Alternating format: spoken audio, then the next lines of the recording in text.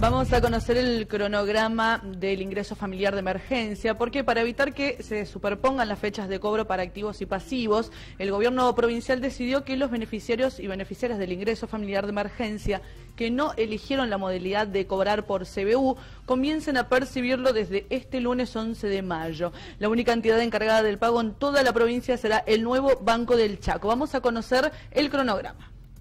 El cronograma de pago es por localidades, lo que tenemos aquí en Resistencia. Habrá cuatro sucursales disponibles, la Casa Central de Güemes 102, el centro de pagos en calle Juan B. Justo 750 y la sucursal de Avenida 9 de Julio y la sucursal de Avenida 25 de Mayo. Únicamente se atenderán estos pagos o se brindarán los pagos de 14 a 17 horas.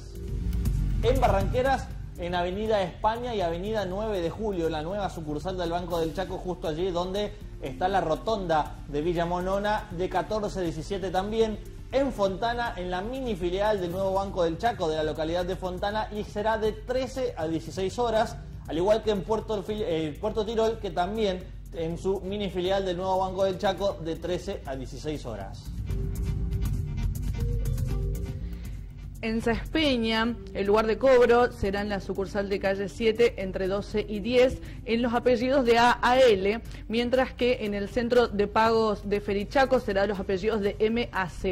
En Villa Ángel, en la sucursal del Nuevo Banco del Chaco, y en Juan José Castelli será apellidos de A a L en la sucursal Vázquez y Sarmiento y apellidos de M a en el anexo de calle Güemes. El horario en los tres casos será de 14 a 17 horas. En la localidad de Concepción de Bermejo, en la mini filial del nuevo Banco del Chaco, de 13 a 16 horas, en Coronel Dugrati y en Corzuela, en sus sucursales respectivas del nuevo Banco del Chaco, y será de 14 a 17 horas, mientras que en el Espinillo, en Sausalito y Fuerte Esperanza, en las mini filiales del Banco del Chaco, de 13 a 16 horas en las tres localidades.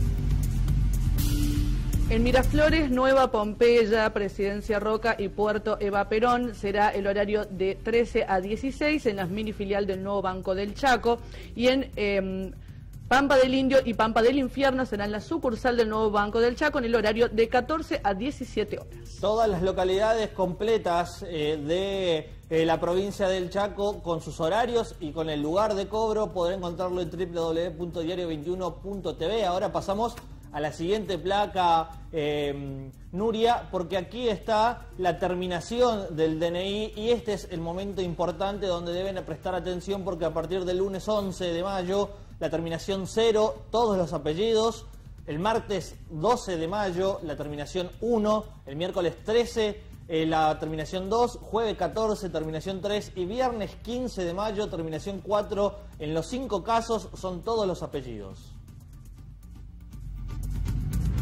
Y eh, el lunes 18 es para aquellos que terminan con DNI 5, martes 19 con DNI 6, miércoles 20 para aquellos que finalizan su DNI con el número 7, jueves 21, número 8, viernes 22, número 9, también todos los apellidos. La diferencia es que en las dos localidades de Juan José Castel y Sáez Peña, en las sucursales nada más hicieron la división por apellido, pero no por día de cobro, sino para que apellidos de la A a la M vayan a una sucursal y los restos a la otra sucursal. Es la única salvedad, pero toda esta información de manera completa en www.diario21.tv.